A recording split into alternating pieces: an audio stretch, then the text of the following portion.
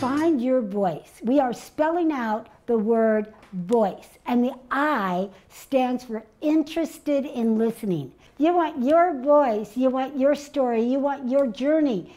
You want the audience to be interested in it. You don't want it to be boring. You want to, again, reach new heights where they're interested. You don't want to just be mediocre and everyday.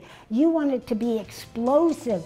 So look for new ways and new places and new depths that you can go with your message.